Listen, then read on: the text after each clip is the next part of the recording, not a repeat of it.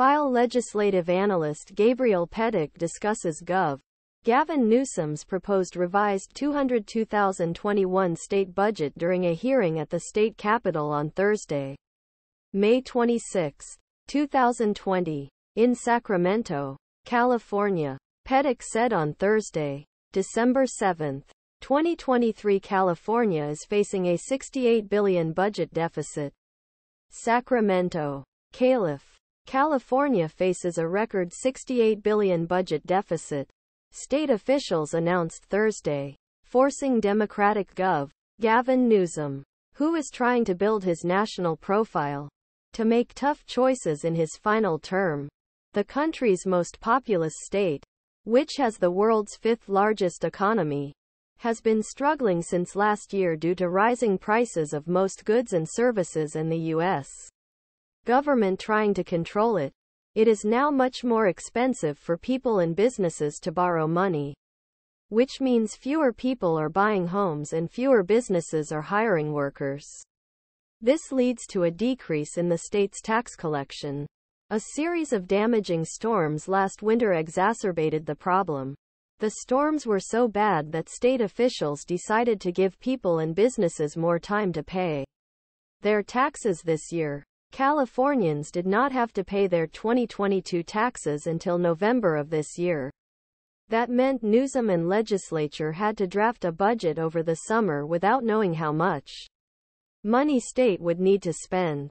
It turns out that people and businesses have grossly misjudged the amount of tax they will pay. The nonpartisan Legislative Analyst's Office said tax collections fell by 26 billion. A major reason for the shortfall combined with the economic slowdown California has been facing since last year. This will lead to a 68 billion deficit. Legislative analyst Gabriel Petek announced Thursday. This is the largest deficit in dollar terms in state history. But previous deficits have been larger as a percentage of state spending. California's current budget exceeds 300 billion. This is by far the largest of all states.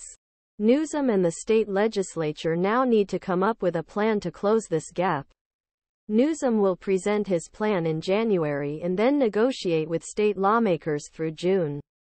The next budget year starts on July 1.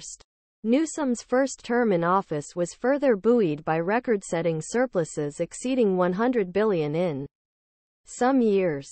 The money allowed him and his Democratic allies in the state legislature to greatly expand government, including guaranteed health insurance payments for all low-income adults regardless of their immigration status and free lunch for all public school students.